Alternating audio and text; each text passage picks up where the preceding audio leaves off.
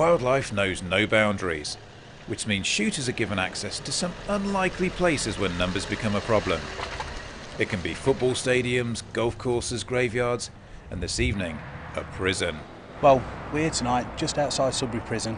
Um, I've been shooting this ground now for about 20 years, on and off.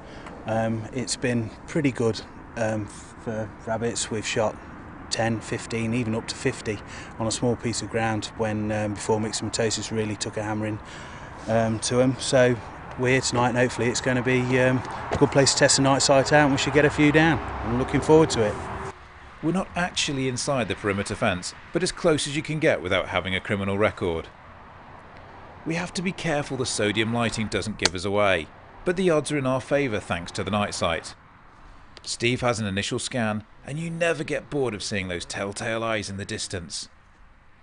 As we work our way along to get within range with the Daystate Mark IV IS, the prison officers want a word, and Steve has to return to the truck for a chat. In the meantime, I managed to pick off a few rabbits while Steve's away for questioning. Okay, another one for the bag. So, you might be wondering why I've got the rifle. Well, the guards at neighbouring Sudbury Prison here were feeling slightly uncomfortable at two men walking around with guns and one with a camera. Uh, when they first came over, I thought they wanted an autograph, but apparently we constitute a security risk, so Steve's had to go and sort it out. So, how'd that go? Fine. I stood around the back of the car, having a look at the rabbits in the back. This is making nobody's nails on for us, boys. And um, he oh, we're just not used to people being around here. I says, yeah, well, don't worry about it. It's all good. It's fine. And they seemed quite happy. I explained who we were and what we were doing. So Cool. 20 years and it's the first time. 20 years and first time. Thanks. There's rabbits in this field here. Hold on, somebody come with a torch behind us, bud. Unfortunately, that's not the end of it. Ten minutes later, Derbyshire Police come and say hello. How are you? Alright, very good. How are you? Very good, thank you. What's happening, gentlemen? What a, obviously a call from the, the Yeah, prison the, next uh, door. the a little the concerned. next door a little bit worried that we're walking around with guns and a camera, so we're just shooting some rabbits here.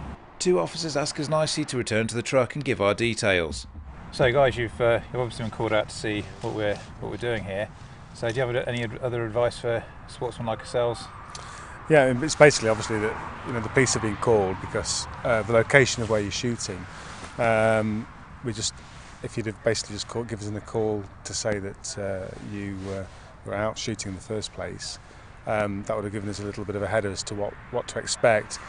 Potentially, uh, when weapons are, mentioned, then you've got the uh, possibility of an armed response vehicle attending, and the consequences of, of that uh, if can be easily misunderstood in the dark. Yeah, it can be quite what's going on. exciting when, when our response. Well, it can be quite exciting, but then there's the resource of the armed response coming out that might be better used in a, you know where it's needed. But more to the point of if mis- a misunderstanding happens, it, the consequences potentially are very serious. Obviously, Sure. So so it's probably let's just keep everybody informed that we can. Yeah, absolutely. just just a phone call to the local police. Um, obviously, um, where where you're shooting tonight, just to drop into the to the uh, establishment, just to let them know um, that you were here, um, would have just, I say, stopped Ease any a- ease a misunderstanding. situation For everybody, absolutely. Yeah. Yeah. No- Just no a quick call, that's all it takes, and everyone knows what we're dealing with. But th- normally, you see, when I send Steve towards a gate like that, they tend to close it as he as he approaches. But no, that's good advice. Sorry to call you guys out on, on, a, on a busy night. That's But the guys, the guys at the prison here seem pretty comfortable that we're